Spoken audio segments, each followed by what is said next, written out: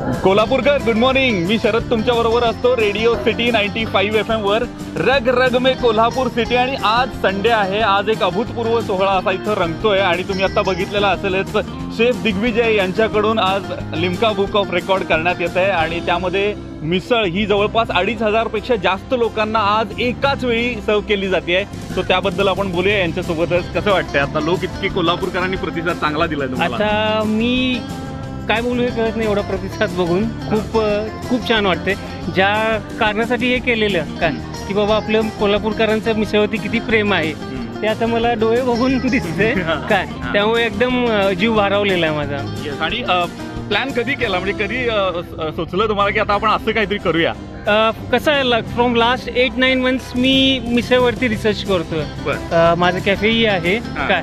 तर एवढा प्रेम ना मिसळवरती. म्हणजे हो तांबडा पांढरा तर आहेच. हा, काय हा. त्यात काय वाद नाही. पण मिसळवरती एक विशिष्ट प्रेम आहे आपल्या कोल्हापूरकरांचं. बरोबर. मग ते गेली आठ महिने माझ्या डोक्यात चालू होतं की काय करायचं नेमकं? हा. मग ह्या एक फायनलाइज झालं एक महिन्या दीड महिन्यापूर्वी आणि केलं आज. finally तुम्ही हे अ, हो, हे- सत्यात उतरवलेलं आहे आणि अ, इथं ज्यांनी ज्या लोकांनी आता मिसळीचा आस्वाद घेतलेला आहे त्यामध्ये काही आपल्यासोबत आहेत. तुमचं नाव सांगा. नितीन पवार नितीन कसं वाटते खाल्ली एक मिसळ नंबर प्युअर कोल्हापुरी स्टाईल आहे एकदम झकात झणझणीत आहे. नाकात पाणी आलं. पण अ, खूप मजा येते.